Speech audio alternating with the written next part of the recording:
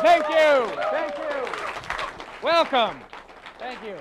Welcome to Malarkeys. You're in for a real treat tonight because we have all the way from London, England, the IBM, that's International Brotherhood of Magicians, Gold Cups winner, an honor bestowed on very few people in the history of magic. And he's here to show you his brand of magic tonight. So let's have a huge round of applause for Mr. Steve Bedwell. All right.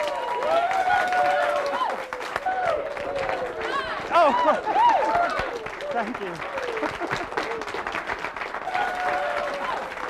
Thank you very much. Thank you. Thank you. Thanks very much. I don't know what it's like over here, but in England, most people, when they think of a magician, think of a guy dressed as a clown performing a bunch of tricks at a kid's party. You see, it's about time people realise that close-up magic is a far more sophisticated form. Hi! I'm sorry, I should have wiped it first. Deborah, I have a question for you. Oh. Pretend you don't know me. I have a question for you. I have a piece of rope here. How long would you say this piece of rope is? Now, just estimate. Think of something of a similar length and compare. There's a guy not laughing over here. Excuse me, Deborah. Some people don't get it the first time. What can I tell you? Okay, here we are. Piece of rope. How long would you say this piece of rope is, Deborah? Five inches. Five inches. The question is, how long would you like it to be? Uh, let me. Uh, seven and a half. Wow. yeah, I didn't assume you meant feet there, Deborah. Seven and a half inches. Here we go, just for your entertainment pleasure. I guess that's a bit too long. About six feet. How would that do you? That's great. At this point.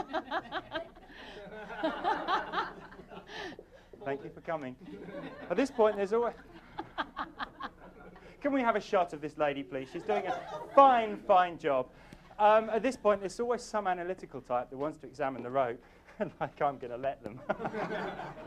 but I, in fact, I'll show you another magic trick, and I'll tell you in advance exactly how it's done. You see, this other magic trick, I need a spare set of ends. And here they are. They go uh, right about there.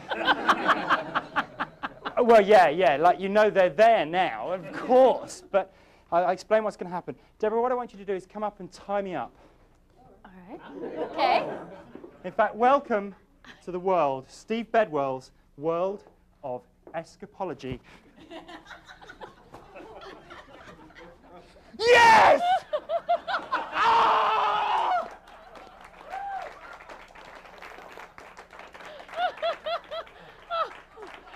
Thank you very much. Okay, Deborah, come and stand over here.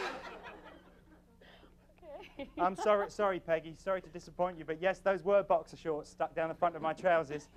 I need, I need three things to make the magic happen. I need a piece of rope, beautiful assistant, sharp pair of scissors. I guess two out of three ain't bad. No, no, no. The scissors aren't very sharp. The scissors aren't very sharp. Now look, this is about the centre of the rope, isn't it? Yeah. You happy with yeah. that? Yeah, I'm happy. You see, because your your happiness is really important to me, Deborah. Okay. Take the scissors. Yeah. What I want you to do is cut the rope into two approximately equal pieces Okay. in your own time. what the hell's happening here? ah, you got my finger! I'm, I'm just kidding. Watch the ends.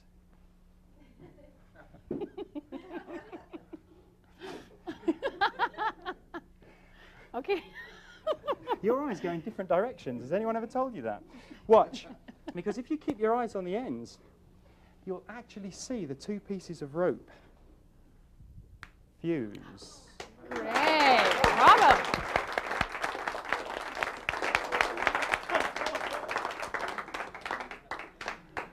All the people on this side, watch the end in my left hand. All the people on the right side, watch the end in my left hand. Deborah, which end would you like to watch? Left. Okay, here we go. One, two, three. Ho! Leaving me in the middle without any ends, but that's okay because that's where the spare ends come in. Remember those? If I wind the spare ends around the middle, it doesn't actually have any ends, and give a blow and a tug, you'll actually see them jump back on. Wonderful. Great.